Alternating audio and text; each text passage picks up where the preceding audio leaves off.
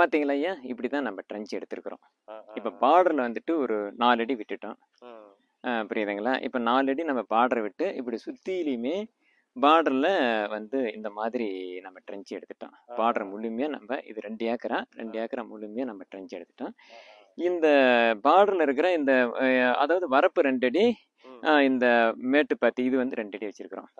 இப்போ இதில் என்ன அப்படின்னா இப்போ இதில் வந்துட்டு நம்ம உயிர் வேலி அமைக்கிறதுக்காக வச்சிருக்கிறோம் இப்போ? உயிர் வேலின்னா இப்போ வந்துட்டு ஓரத்தில் வந்துட்டு அதாவது சாமந்தி பூவு வந்துட்டு தட்டைப்பயிறு மக்காசோளம் இந்த ஓரத்தில் விட்டுடுவோம்.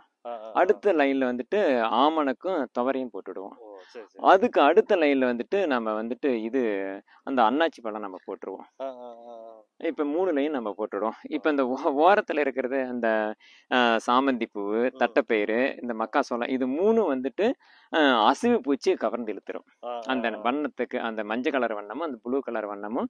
அந்த பூச்சி கவர்ந்து இழுத்துருங்க ஆ. அதே மாதிரி இந்த த- த- இந்த இது ஆமணக்கும் இந்த துவரையும் என்ன பண்ணணும் சைவ பூச்சி கவர்ந்து இழுத்துரும் இப்போ சைவ பூச்சிக்கு சாப்பாடு இலை தலை.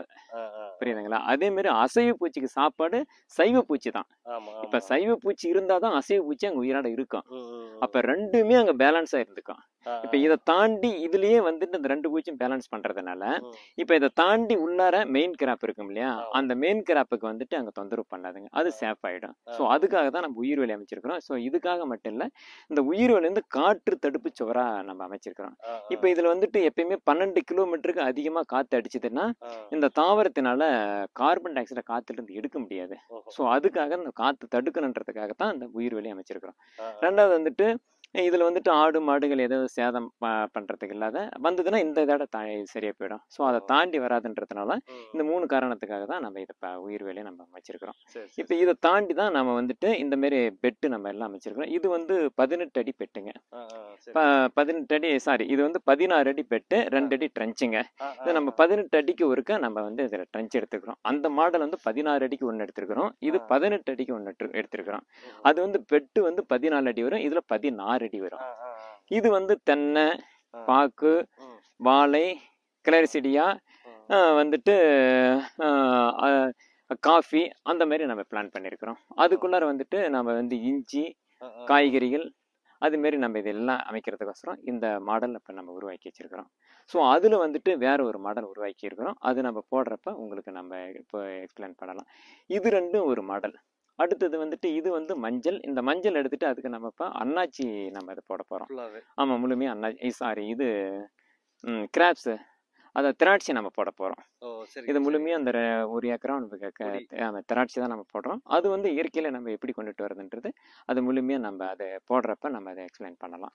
இந்த மெத் மெத்தடில் தான் நம்ம இப்போ உருவாக்கியிருக்கிறோம். இப்போ இதில் வந்து பார்டரில் நம்ம வந்து கரெக்டாக நம்ம வந்துட்டு ரெண்டு அடி ஆழம் அகலம் சின்ன ஜேசிபி பேக்கெட் இருக்குதுல்ல அது ஒன்றரை அடி பேக்கெட்டு இருக்கும். ஸோ அதில் தான் நம்ம இந்த கடகால் எடுக்கணும். அந்த இது ட்ரஞ்சி எடுக்கணும். பெரிய பேக்கெட்டில் எடுத்துடவே கூடாதுங்க. எடுத்து நம்ம அந்த பெட்டில் போட்டு ஆள் வச்சு லெவலிங் பண்ணிவிட்டு. ஸோ அதுக்கப்புறம் அதில் வந்துட்டு நம்ம வந்துட்டு த இது தக்கப்பூண்டு கம்பு இதெல்லாம் நம்ம கலந்து நம்ம அதை விதைச்சி விட்டுறணும். ஆ. அதை விதைச்சி விட்டு முழுமையாக வந்துட்டு முத்துனதுக்கு பின்னாடி தான் கட் பண்ணி தூக்கி இந்த ட்ரஞ்சில் போடணும். ஒரு விதலை தவறும் இரு விதலை தவறுமா. அதில் ட்ரஞ்சில் போட்டு முழுமையாக நம்ம வந்து ஜீவ மருந்து கொடுத்துட்டோம்னா அது மக்கும். அப்போ அதில் மக்கு அது மக்குனதுக்கு பின்னாடி தான் ஹியூமஸுங்கிற மக்கு உருவாகும். அந்த. மக்கு தான் நமக்கு இப்போ ரொம்ப ரொம்ப முக்கியமானதுங்க. ஸோ இந்த. மெத்தடில் தான் இது எல்லாமே அந்த அஹ், விதைச்சுட்டு ஒரு அடி வந்ததுக்கு பின்னாடி தான் நம்ம எல்லா கண்ணு இப்போ குழி எடுத்து. நம்ம எல்லா கண்ணும் நம்ம வைக்க போகிறோம் சரி ஸோ இந்த மெத்தடில் தான் நம்ம உருவாக்கி வச்சிருக்கிறோம். அது பண்ணும்போதுங்க அதுக்கு தண்ணிங்க? ட்ரெஞ்சில் நம்ம ஒரு டீ போட்டுருவோம். ஆ டீ போட்டுருவோம். அதில் அந்த டீப்பில் நம்ம சொட்டு நீர் பாசன அந்த டீப் மூலமாக அதில் ஜீவ மரம் அதில் அப்படியே கீழே அப்படியே போய் அது வந்து மக்க ஆரம்பிச்சிடும் ஏன்னா அந்த ஜீவ மரத்தில் தான் கண்ணுக்கு தெரிஞ்சது தெரியாதது கண்டுபிடிச்சது கண்டுபிடிக்கப்படாதது. வந்துட்டு இது வரைக்கும் ஐடென்டிஃபை பண்ணினது பண்ணானது எல்லாமே கொடான கோடி கணக்கில் நுண்ணுயிர்கள் எல்லாமே அந்த ஜீவ மரத்தில் இருக்கிறதுனால அதில் இருக்கிற எல்லா பாக்டீரியாவும் சேர்ந்து அது மட்டும் இல்லாத அந்த மண்வாழ் உயிரினங்கள் எல்லாமே சேர்ந்து தான் இதை இதில் போட எல்லா தலாசருக்கு எல்லாமே மக்கி அந்த மக்கு உருவாகி அதில் தான் ஹியூமஸ் உருவாகிடுறதுங்க இந்த மெத்தட் தான் நம்ம இப்போ உருவாக்கி வச்சிருக்கிறோம். இதெல்லாம் எப்படிங்க? இன்னும் டிஸ்கஸ் பண்ணுவீங்களா? இல்ல நீங்களாவே எல்லாம் பிளான் இல்லை நிறைய எல்லாம் நாம தெரிஞ்சு நிறைய குருமார்கள்லாம் இருக்கிறாங்க. ஸோ அவங்கெல்லாம் டிஸ்கஸ் பண்ணி அது எப்படி அமைக்கணும்? எல்லாமே நம்ம வெளியுறவுல தெரிஞ்சு தான் நம்ம இதை அமைச்சு அந்த மாடல் எங்களுக்கு தெரிஞ்சு நீங்க குருவாதரை வச்சு தான் இவ்வளவு தூரம் வந்து பேசிட்டு ஆ, இல்ல இல்லை இருக்கோம். அப்படிலாம் இல்லை. உங்களுடைய குரு உங்களுக்குள்ளாரதான் இருக்கிறான். ஆஹ், நான் குரு கிடையாது. உங்களுடைய எல்லாத்தினுடைய குரு அவங்க உங்களுடைய உள்ள அவங்களுக்குள்ளாரே தான் இருக்கிறாங்க. அதனால அந்த வாங்க அப்படியே ஜீவாமிரதை எப்படி ப்ரிப்பேர் எல்லா விவசாயிகளையும் இவ்வளவு தூரம் செலவு பண்ணி பண்ணுங்கிறது யோசிக்கிற மாதிரி இருக்குங்களே. கண்டிப்பா கண்டிப்பா.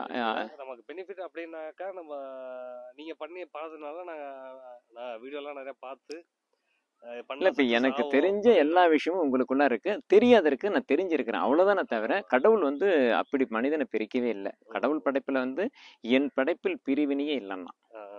ஏன்னா இங்க எல்லாமே எல் இங்க உலகத்துல படைக்கப்பட்ட எல்லா ஜீவராசிகளையுமே நான் ஒரே கேட்டகரியில தான் படைச்சிருக்கிறேன். இங்க இரும்பு ரெண்டாவது இங்க கொசு அவங்களுக்கு உரிமை இங்க கம்மியாகவும் மனிதனுக்கு உரிமை இங்க அதிகமாகவும் கடவுள் அப்படி படைக்கவே இல்லை.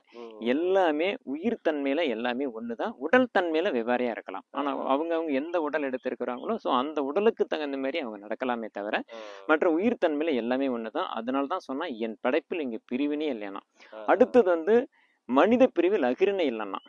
அப்படின்னு என்ன அர்த்தம்னா இப்ப மனிதன் வந்துட்டு உயர்வாகவும் இல்ல. தாழ்வாகவும் உயர்ந்தவன் மட்டவன் அப்படிலாம் அவன் படைக்கவே இல்லை. இப்ப. என்னுடைய உடம்புல என்ன ரத்தம் ஓடுதோ அதே தான் உலகத்துல இருக்கிற எல்லா மனிதனுக்குமே ஓடும். இப்ப என்னுடைய ரத்தம் வந்துட்டு யாருக்கு வேணுமாலும் பகிர்ந்து கொடுப்பதனாலே சகோதரன் சகோதரன் தான். இப்ப. ஆண் ரத்தம் பெண்ணுக்கு செட் ஆகும். பெண் ரத்தம் ஆணுக்கு செட் ஆகும். என் ரத்தம் அமெரிக்காவில் ஏ பாசிட்டிவ்னா அவங்களுக்கு செட் ஆகும். இதே சைனாக்காரங்களுக்கு ஏ பாசிட்டிவ்னா செட் ஆகும். முஸ்லீமுக்கு செட் ஆகும். கிறிஸ்டினுக்கு செட் ஆகும். இந்த ரத்தம் எல்லாத்துக்குமே செட் ஆகும். ஸோ அதனால தான் அவன் வந்து அகிரிணை இல்லைன்னு சொன்னான். உயர்வு தாழ்வு நான் அப்படி படைக்கல. எல்லாத்தையுமே நான் சமமா தான் படைச்சிருக்கிறேன் அப்படின்னு சொல்லியிருக்கிறான். ஸோ அதன்படி பார்த்தோம்னா எல்லாருமே இங்க உயர்ந்தவர்களே மட்டமானவர்கள் அப்படின்றது ஒன்று கடவுள் இங்க உருவாக்கவே இல்லை. நம்ம மனசுல தான் உயர்வு தாழ்வு இருக்கிறத தவிர கடவுள் படைப்புல அப்படி இல்லவே இல்லை. Okay okay. அதை பார்க்கணும்